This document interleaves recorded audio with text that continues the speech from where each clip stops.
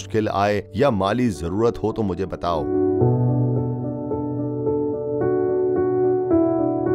शहीद सहाफी के घर के माली बहादुर का कहना था कि अरशद शरीफ हंसता, खेलता, खिले फूल जैसा इंसान था, जो हर एक को खुश रखता था। उनकी शहादत की खबर ने हमें धचका दिया था, क्योंकि कोई सोच ही नहीं सकता था। आखिरी बार भी मुझे कह रहे थे कि माली साहब कैसे हो, ठीक हो। वो इतने अच्छे तरीके से मिलते थे कि यूँ लगता ही नहीं था कि वो मेरे मालिक हैं।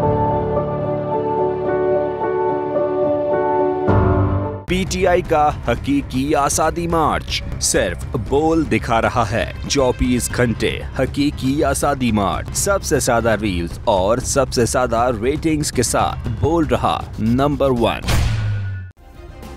सब्सक्राइब करें और बेल दबाएँ ताकि कोई खबर रह न जाए।